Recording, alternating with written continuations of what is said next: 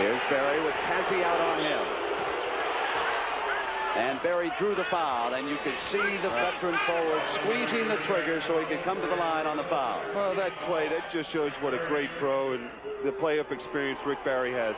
He realized Cazzie had his hand reached in, reaching, was reaching in there and just went up for the shot and created the foul. And he doesn't miss many foul shots. In the regular season, Rick Barry averaged 21.8 points a game.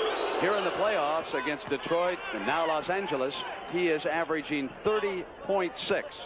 He is hitting 47% from the field, an increase over his regular season 44%, and you already know he's a magnificent free throw shooter.